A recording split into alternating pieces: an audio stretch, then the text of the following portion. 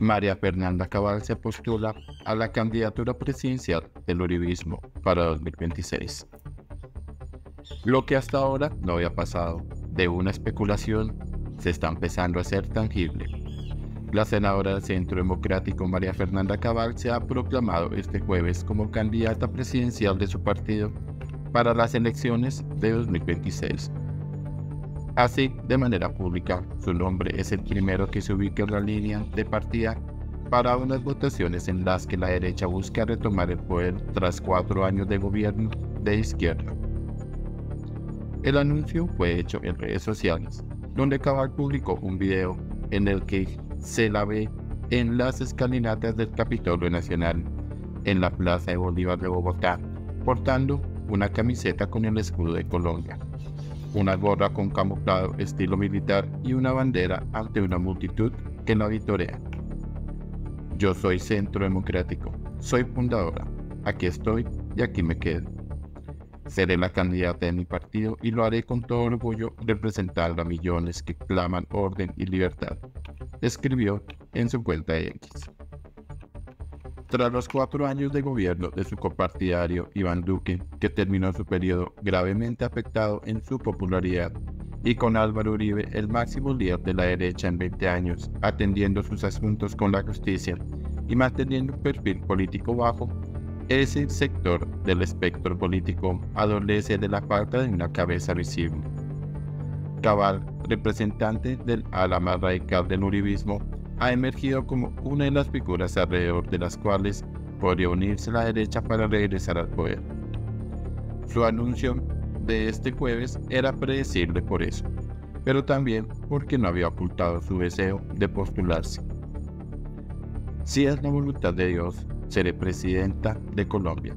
Es mi momento, dijo a este diario en una entrevista en mayo de 2023.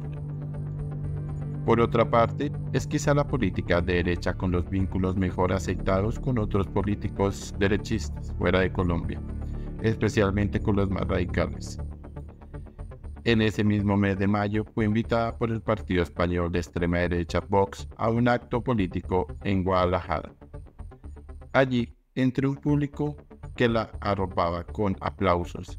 La senadora jugaba de local.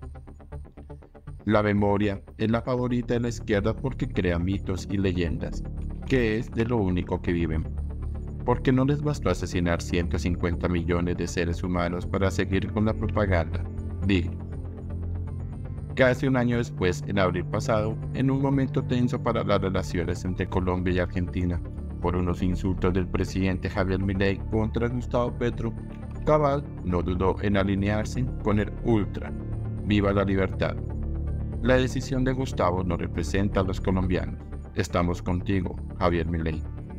Aquí también venceremos a la casta. Tampoco ha ahorrado elogios para el presidente de El Salvador, Nayib Bukele, con quien Petro ha protagonizado algunos roces o para los exmandatarios Jair Bolsonaro de Brasil y Donald Trump de Estados Unidos. Nació en Cali hace 57 años como la menor de tres hijas de una familia muy conservadora y de clase alta en la capital del Valle del Cauca. Su esposo es el dirigente ganadero José Félix Lafauri, también de larga tradición de derecha, pero quien ha dado muestras de apertura frente al gobierno firmó un aplaudido pacto para entregar tierras para la reforma agraria y es miembro de la delegación de paz del Ejecutivo en las enredadas negociaciones con la guerrilla del ELN.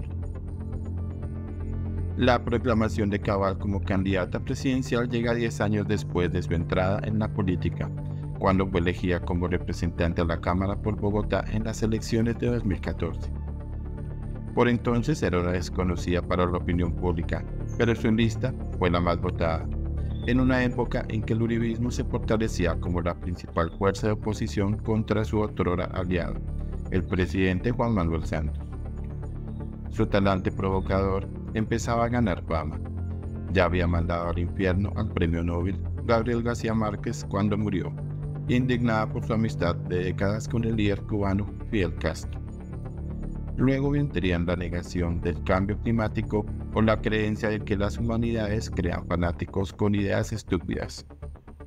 Desde este jueves, su estilo bronco y directo será todavía más visible.